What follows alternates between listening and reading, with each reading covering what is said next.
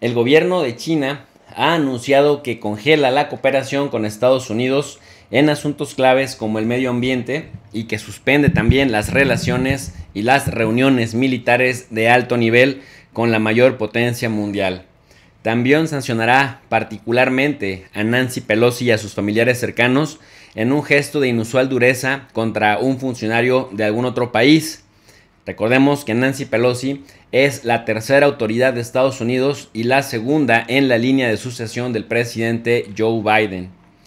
Cabe señalar, cabe señalar por otro lado, que esta decisión de China deja al gobierno de Estados Unidos, que había desaconsejado a Nancy Pelosi no visitar Taiwán, pues lo deja en una posición muy delicada y con una perspectiva de que van a empeorar las deterioradas relaciones con China. ¿Por qué? porque por un lado el gobierno de los Estados Unidos y el ejército de Estados Unidos dijeron que estaban imposibilitados de ordenarle y de aconsejarle qué hacer a Nancy Pelosi, quien como presidenta de un poder que es autónomo tomó las decisiones. Por esa razón, Pekín, Pekín anuncia que en respuesta a la visita de Pelosi, suspende parte de la cooperación entre los dos países en temas sensibles para Estados Unidos como el cambio climático, la seguridad marítima y además cancela las reuniones militares claves. Las represalias incluyen la suspensión de encuentros bilaterales sobre la cooperación entre China y Estados Unidos en la repatriación de inmigrantes ilegales, en asistencia jurídica penal, en la lucha contra delitos transnacionales y también sobre el control de drogas. Al respecto, la portavoz de Exteriores, Hua Juning, responsabiliza a Estados Unidos de provocar esta crisis y dice que Estados Unidos ahora tendrá que lidiar con las consecuencias. Recuérdese también que Pelosi, aunque en 2022 es el más alto cargo estadounidense afectado por las sanciones de China, ya el año pasado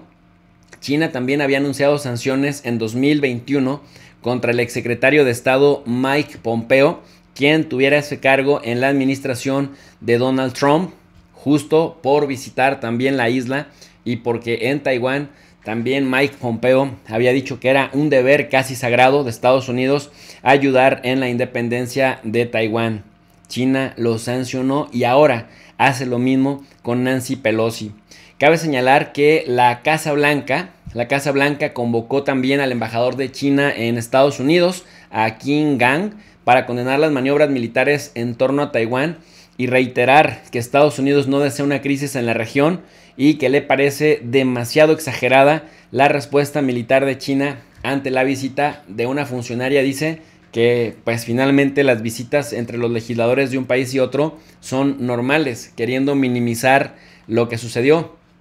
John Kirby, el portavoz del gobierno de Estados Unidos en asuntos de seguridad nacional, confirmó también la convocatoria de Kim por el comportamiento, dicen, irresponsable de China, sin detallar quién lo ha recibido ni hacer referencia a la suspensión militar unilateral por parte de China en materia de cooperación. Para Estados Unidos, China está exagerando. Para Estados Unidos, China está siendo irresponsable y es ahora China quien prácticamente pone en riesgo la estabilidad y la paz en la región.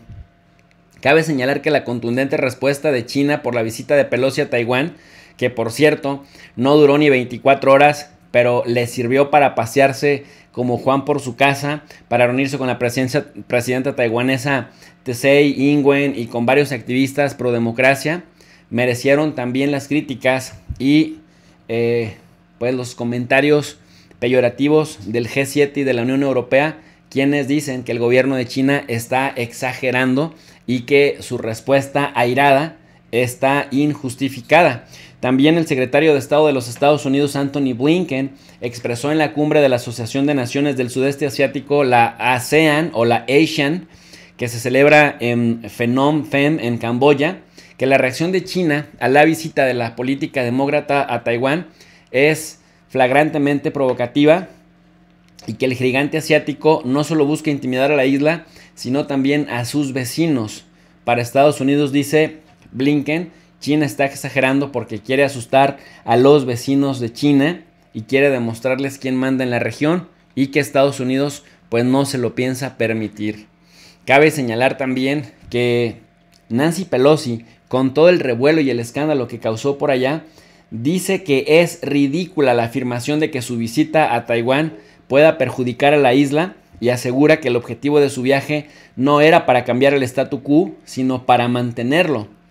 Bueno, pues uno a la distancia podrá uno observar que en realidad está acelerando lo que quiere evitar, la reunificación de China y el dominio completamente de Pekín, también de la isla de Taipei. En cita textual, Nancy Pelosi dice, nuestra delegación no busca cambiar el statu quo de Asia o de Taiwán,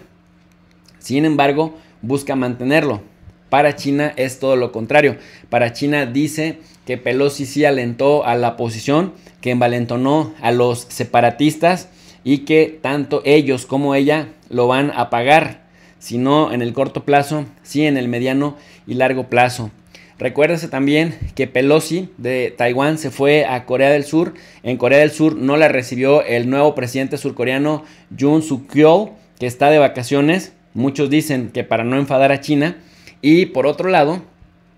pues Nancy Pelosi también aprovechó para ir a una zona polémica, aprovechó para visitar el área de seguridad conjunta de Panmunjom, que es una zona desmilitarizada que separa las dos Coreas. Allá también recibió críticas fuertes de Corea del Norte. Por el contrario, en Tokio, Japón, se reunió con el primer ministro japonés Fumio Kishida, quien le aseguró a Pelosi que su país ha pedido la cancelación inmediata de las maniobras militares en torno a Taiwán porque dice también es un grave problema que afecta a nuestra seguridad nacional y la de nuestros ciudadanos. China le respondió a Japón que estaba enfurecida con ellos porque firmaron también la carta del G7 en donde acusaban a China de estar exagerando por la visita de Pelosi. Recuérdese que el G7 culpó a China de todo esto, de tensar la paz en la región y por supuesto que esto a los chinos les molesta en, de sobremanera. El Ministerio de Defensa de Japón afirma que cinco misiles de los que China ha disparado aterrizaron ya en su zona económica exclusiva y que es algo insólito que ha provocado una protesta diplomática ante el gobierno de China. Sin embargo, Pekín reiteró que se siente ofendido porque Japón firmó el comunicado conjunto del G7. Bueno, ante esto, se podría uno poner a, reflexionar si lo que hizo Nancy Pelosi realmente para no cambiar el statu quo, sino para mantenerlo, o si por el contrario acelera la reunificación de China con Taiwán y por otro lado está haciendo los últimos pasos, los últimos esfuerzos para acabar con la globalización. Entonces, prácticamente estamos observando que si el proceso de globalización parecía amenazado por grupos terroristas, por eh, grupos extremistas,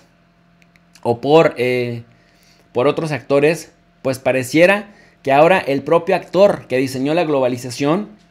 es el que ha preferido ir acabando con ella, porque las respuestas tanto por parte de Rusia como por parte de China está haciendo justamente responder a cada una de las provocaciones de Estados Unidos. Estados Unidos, por ejemplo, en el caso de Rusia, hasta lo expulsa del SWIFT y ahora China, por su cuenta, anuncia eh, el aceleramiento, la aceleración de su propio pago, de su propio sistema de pagos interbancarios, desafiando incluso al mismísimo SWIFT.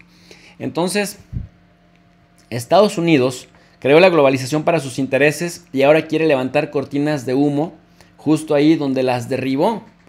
Pareciera pues que tanto en el tema del gas y del petróleo con sanciones que hacen que se expulse también a, a, Rusia del sistema internacional de pagos y también presiona a las empresas que habían invertido en Rusia, más de 400 empresas que abandonaron Rusia,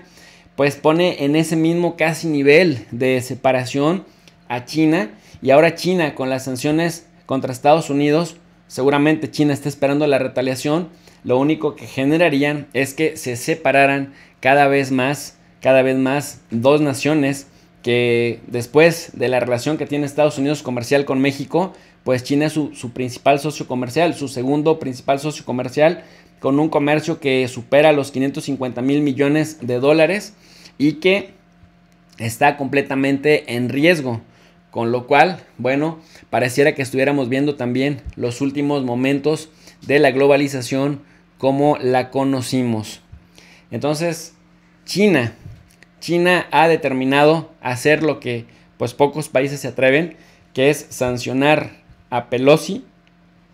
y también darle una sopa de su propio chocolate a Estados Unidos, con lo cual vemos que la crisis se agrava y que esto apenas empieza. Si les gustó este análisis express, les invito a que nos ayuden con su poderoso like, que compartan el video y que se suscriban al canal de tu profe DRI y tu profe DRI 2.0 para que nos ayuden a elevar el nivel de análisis en las redes sociales, porque queremos ser sus ojos en el mundo. Por su atención, muchas gracias.